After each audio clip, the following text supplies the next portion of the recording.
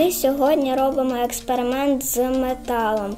Для цього нам потрібна фольга, колбочка, звичайна та блакитна сіль і вода.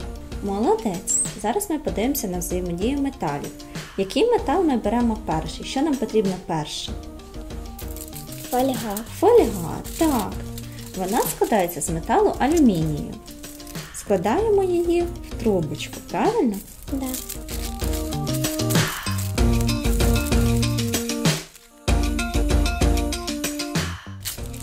Добре. Ставимо її в пробірочку до кінця. Ось так. І до самого кінця. І загинаємо, щоб вона в нас там залишилася. Насипаємо першу сіль яку? Білу. Білу. Це у нас натрій хлорид.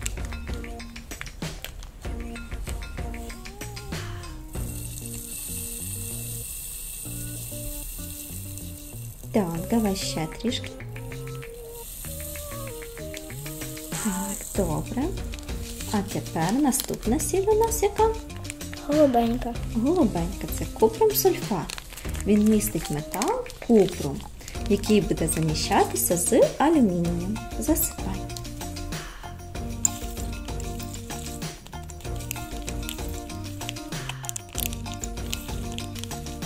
Досить. Давай я тобі допоможу. Ось так. Все. Що нам залишилось додати для нашого експерименту? Воду. Воду, правильно, аби запустити реакцію як каталізатор. У нас водичка.